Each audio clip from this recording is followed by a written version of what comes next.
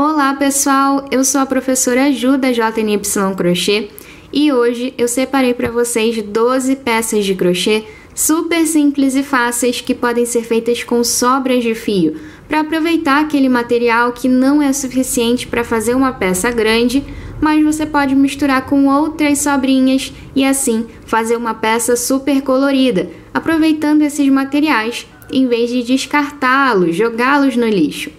Assim você economiza e ainda usa esses materiais para crochetar e relaxar um pouco em meio a essa crise que estamos vivendo no momento atual. Além disso, em vez de sair para comprar mais material, você pode usar aqueles que já tem em casa.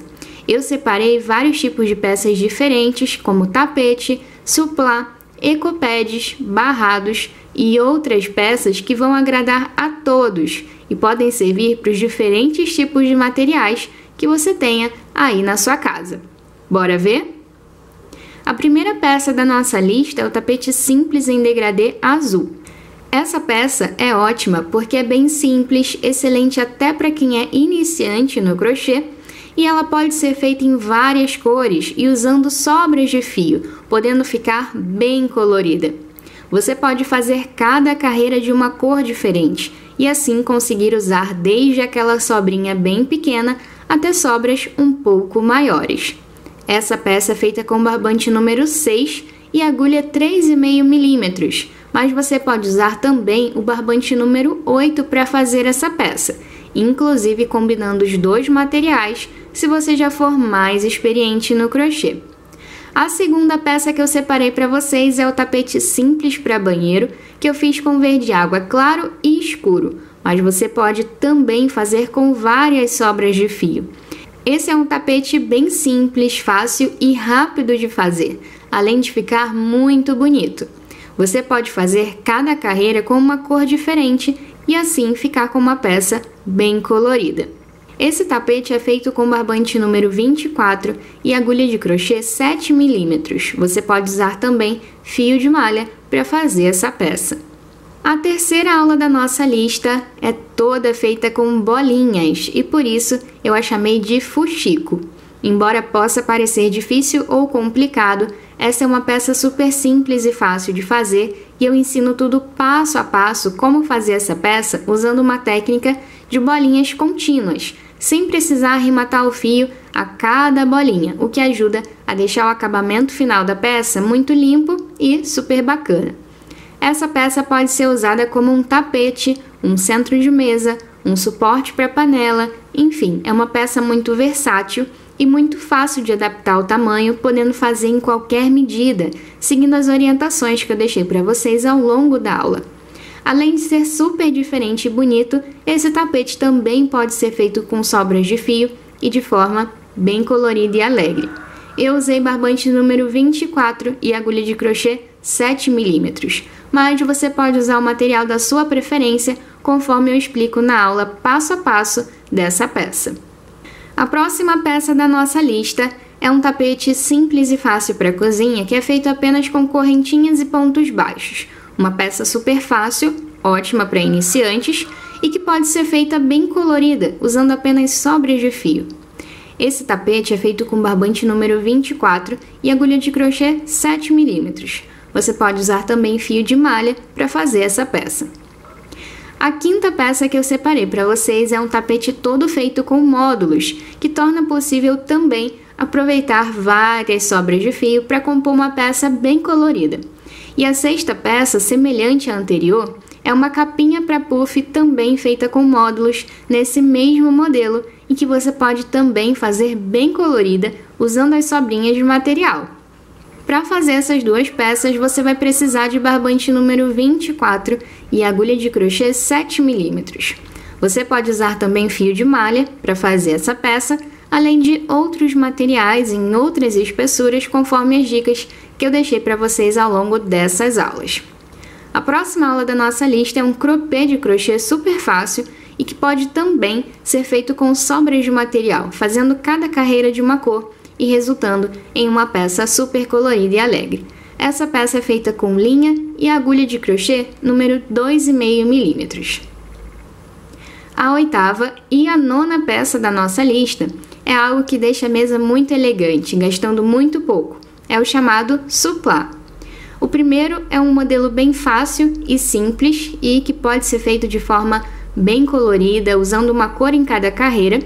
E o segundo modelo é também muito fácil, simples e super econômico e rápido também.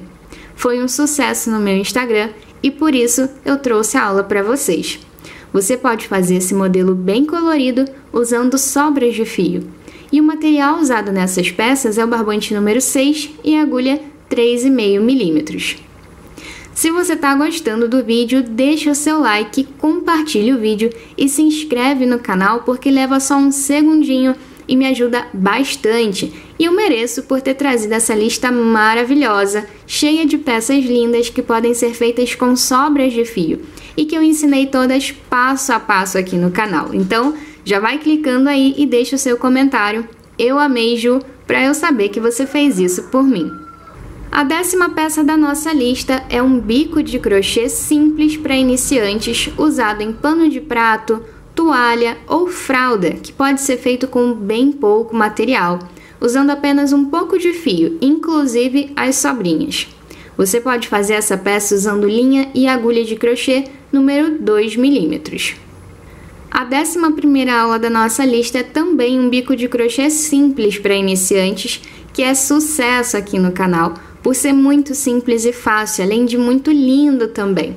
Ele pode ser usado em pano de prato, toalha ou fralda e também pode ser feito com bem pouco material, usando apenas um pouco de fio, inclusive as sobrinhas. Você pode fazer essa peça usando linha e agulha de crochê 2 milímetros.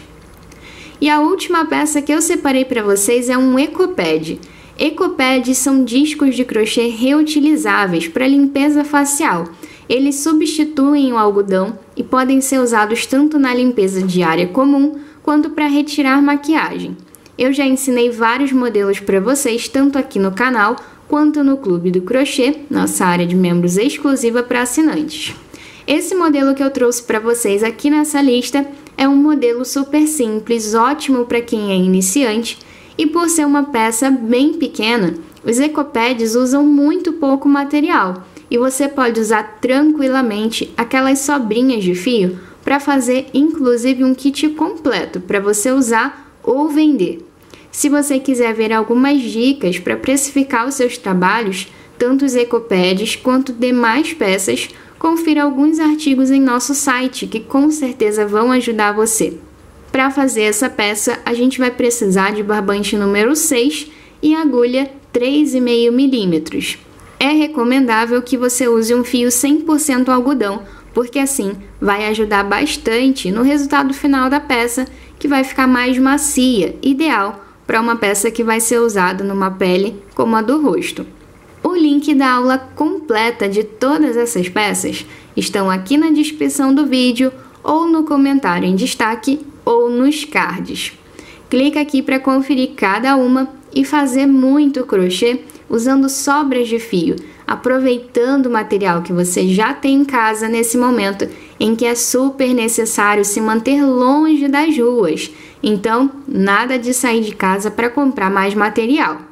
E eu quero ver sua peça lá no Instagram, então faz e me marca lá. O meu perfil é jnycrochê e a hashtag é Olha Professora Ju. Me marca lá que assim eu posso ver, curtir o seu trabalho e repostar no meu perfil, porque eu tenho certeza que todo mundo vai amar também. Por hoje a nossa lista acaba por aqui. Agora, você que quiser aprender ainda mais, clica no link que vai estar em destaque aqui em algum lugar, ou seja, na descrição do vídeo, ou no comentário em destaque, ou nos cards para conhecer e aproveitar para participar do Clube do Crochê, a nossa comunidade exclusiva. São centenas de aulas exclusivas já disponíveis, todas passo a passo, e nova aula toda semana com dicas incríveis para você aprender muito mais e se aperfeiçoar na técnica do crochê. Um grande abraço então e até o próximo vídeo!